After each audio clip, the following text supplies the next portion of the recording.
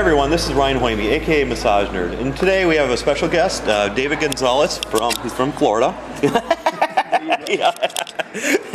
So the first time I met you was last year at the FSMTA convention and stuff like that. So um, you you have some DVDs out there too, right?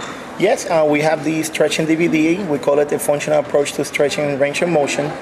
And basically, what we do is we teach the basic skills of stretching to people that are want to learn the basic of, of this type of work.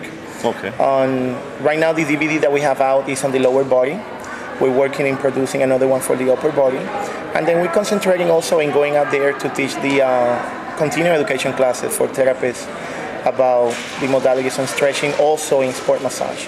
Now, are you thinking about different languages too and stuff? To Yeah, we're working on developing the the DVDs also in Spanish. Okay. As you know, I speak Spanish. yep, so yep. uh, we're gonna market also to the Hispanic market that is growing in the in some areas in the country. Oh, that's be huge, yeah, And then we're trying also to expand to other, you know, Spanish-speaking. Is there a lot of massage or stretching DVDs out there that are geared towards uh, um, Spanish speaking and stuff? Then You know, not? I haven't find anything, so that's why I want to work into this. Yeah. Um, I think that the market is out there, and the sad part is that you have in certain segments of the population, you have a lot of Hispanics that are having the issue of speaking the language and understanding the language, but that doesn't mean they're not as professional as we are because they cannot have access to the media that we have Yeah. just because of the language barrier. Isn't Spanish the second largest um, language in, in America then, or? I, I, I would say so. Oh, I mean, when you look at the Hispanic market right now, this is the biggest minority that we have. Yeah. And coming from South Florida and uh, Dade County, where one of 82, one of every two people are Hispanic, then that's a good way to start educating and have the same access that you have to the American market. So Do the Hispanic um, uh, um, or, um, people and stuff like that, do they get a lot of massages, would you say, or are they more of a minority for giving getting massages? actually, no, I would say it's pretty much the same. Okay. It's a market, it's education. I mean, when I look at my private practice and I look at my own clientele, I mean, I can tell you I have a 50 50 uh, breakdown on Hispanic versus non Hispanic. Okay. So, and it's relative to the area where you're setting. Yep. You know, you're gonna have other segments on the county or the state that are Yep. not gonna see populated in, in the Hispanic. And I think it's great that you speak a couple languages too and stuff. And nowadays you got to in order to survive. It seems. And I mean, yeah, you can get a, get get by with just English and stuff, but it, you're opening yourself up to so much more of a market and stuff. Yeah, and I think you know we're at least I consider myself in the business, but in reality, this is the passion of sharing information, and that's what I want to do. I've been blessed to be in a situation where I've been learning from people from different background at the top level, from the university, from the colleges, from the same experience that we have here, the FSMTA coming from other professionals. So I want to be a tool to transmit or to share the information to the community, and that's basically my goal. Yep. And then you also teach workshops then. And, yeah, Yes, uh, yeah. we, we teach classes right now on, on stretching and range of motion. We also have classes for sports massage, for performance enhancement. We teach classes on the basic uh, requirements, the HIV, ethics, Okay. law, medical errors. And we're developing a few classes right now that are more geared to the uh, clinical aspect of the uh, musculoskeletal pathologies and how to rehab. Also from the exercise component more to give the massage therapist the opportunity to learn more about how exercise is involved in the rehabilitation process of any client. Because if you, as a massage therapist, you're working with the patient, if you understand that they will benefit from exercise, then you will be able to refer out to people that specialize in that type of work. Because the ultimate goal is the benefit of the actual patient or client. What kind of educational background do you have then? Well, I, again, that's been a blessing for me. I'm a licensed massage therapist. I have an associate degree as a physical therapy assistant. Okay. I have a bachelor's degree as an exercise physiologist. Okay. When I did that, I concentrated in uh, cardiac rehab and strength and conditioning. Okay. And then I did my master's degree also in exercise science, where I was able to specialize in performance enhancement and injury prevention of athletes. Okay. So, but when I talk about athlete and athletic, I think everybody's an athlete. You have athletes Yeah. competing at the highest level of Yeah. sports, but then you have athletes at the lower level. Like I always talk about the mothers that are, you know, bringing their kids up and they're Yeah. lifting their kids. They have to be able to be functionally healthy to move efficiently. Yeah. So that's part of the education from the exercise, from the massage. So to create awareness to the to the community and to the therapists. And I, I just um, did an interview with um, Oleg from he does Russian sports massage, and he said Mm-hmm. that's kind of stereotype too. I mean, when you say it's sports massage, it's just not for just athletes and stuff. So it's Exactly, yeah, because who yeah. I, I was telling some of my students the other day, you guys are athletes. Yeah. You're athletes practicing the sport of massage. Yeah. You know, when you look at some of the components of fitness or, or exercise, you have, for example, specificity of exercise. If I do massage, is that going to improve my running? Well, it's a complement. But if you want to be a better runner, guess what? You have to run, you have to train, you have to work on your weight, you have to eat right, you have to rest. But guess what? You know, massage is a component of it. And if you are, that's what you do, every complement will help. Yep. And you also teach massage, right? Yes, Yep, I teach yep. massage for the Miami Dade College. Okay. So what else do you not do? So that's that's a great question. But I tell you something, Ryan, because this this is good. You know, a lot of people are telling me that, but this is the bottom line.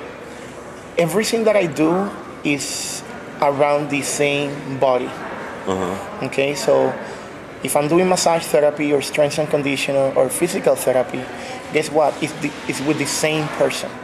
So when I go out there to see a patient or a client, you may be for massage, the other be maybe to physical therapy, but everything relates to each other. All we want to be is being functional and being healthy.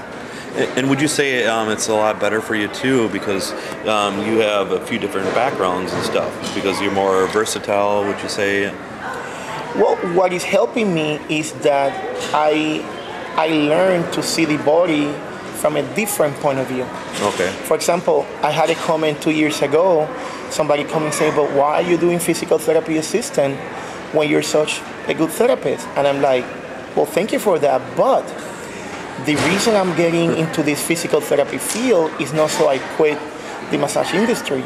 It's so I can become a better massage therapist. Not that I'm gonna be changing my stroke, but if I have a better understanding of what's going on with certain pathologies or with certain conditions or with certain patients, then I'm gonna be able to develop better protocols to treat th- those people. Yep. So before I was referring out because I didn't know, but now can massage really help with this particular patient?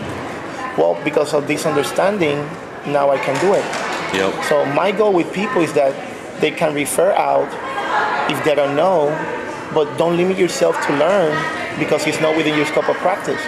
Yeah, it may not be there in your scope of practice and you'll not be able to do it legally, but that should not be a limitation for you to learn anything that you want out there. Yeah. So my, my main thing is to make sure that and to stimulate and to mo- motivate people to to learn because this is a fascinating field.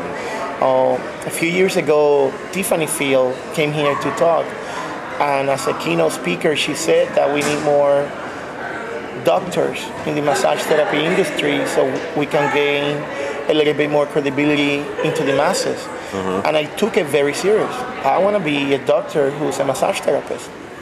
Not that it's going to make any difference in the way I do massage, but if I can gain, from the scholastic point of view, a little bit more credibility, then we can target, we can reach more the masses and let them know, hey, you know, this works because this really works.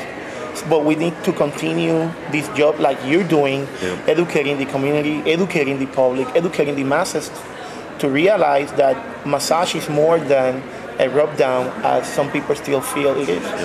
When are you going to write your memoirs? I don't know. Maybe you can help me with that.